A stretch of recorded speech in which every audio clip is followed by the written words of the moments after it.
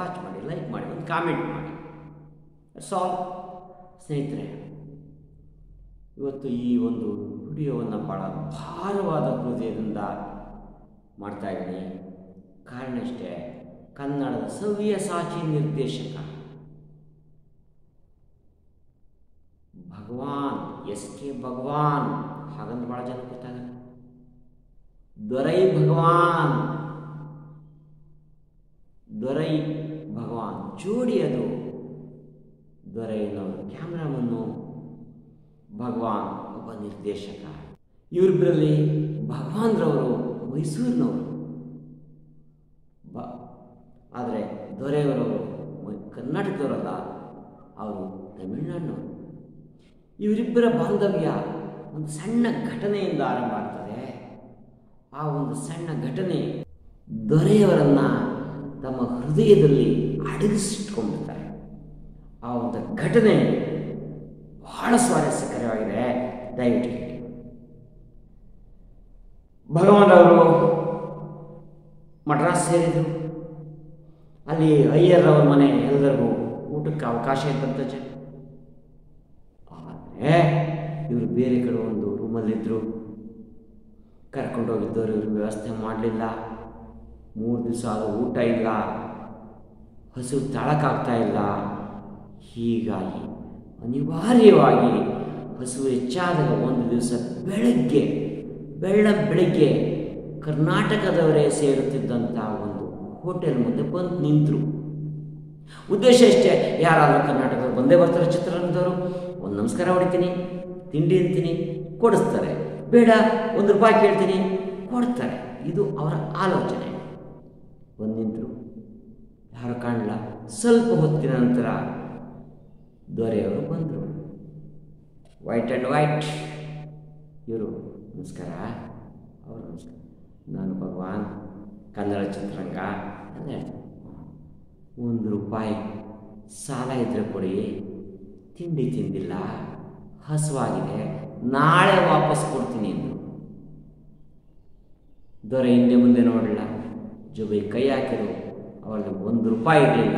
ಇದ್ದದ್ದು ಎಂಟಾಣೆ ಐವತ್ತು ಪೈಸೆ. ಅದನ್ನು ಇವರಿಗೆ ಕೊಟ್ಟು ಹೊರಟು. ಇವರಿಗೆ ಹಸು ತಳಕಾಗಲ್ಲ ಅವ್ರು ಯಾಕೆ ವಾಪಸ್ ಹೋದ್ರು ಅಂತ ಯೋಚನೆ ಮಾಡೋ ಸಮಯ ಇರಲಿಲ್ಲ. ನೇರು ಹೋಟೆಲ್ಗೆ ಹೋದರು.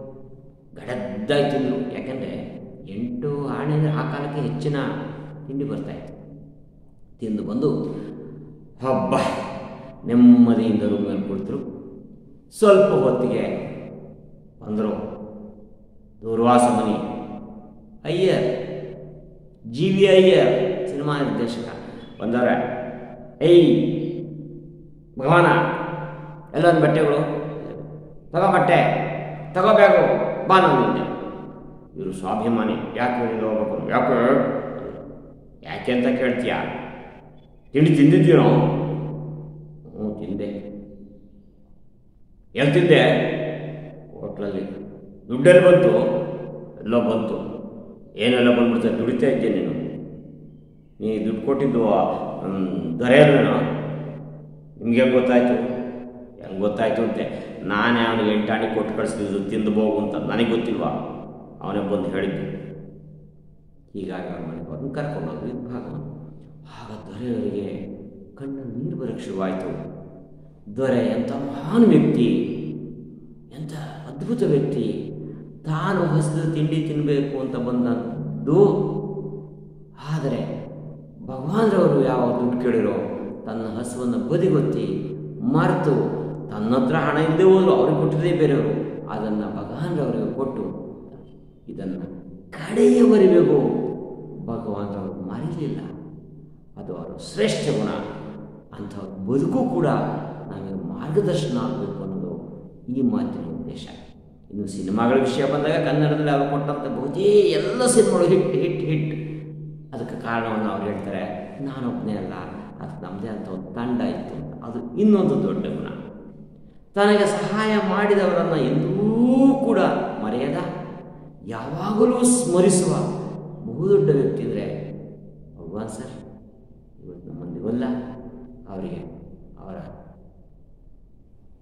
ಆತ್ಮಕ್ಕೆ ಶಾಂತಿ ಸಿಗಲಿ ಅವರ ಕುಟುಂಬದವರಿಗೆ, ಕುಟುಂಬ ವರ್ಗದವರಿಗೆ ಆ ನೋವನ್ನು ಸಹಿಸಿಕೊಳ್ಳುವ ಶಕ್ತಿಯನ್ನು ಭಗವಂತ ಕೊಡಲಿ ಅಂತ ಪ್ರಾರ್ಥಿಸೋಣ.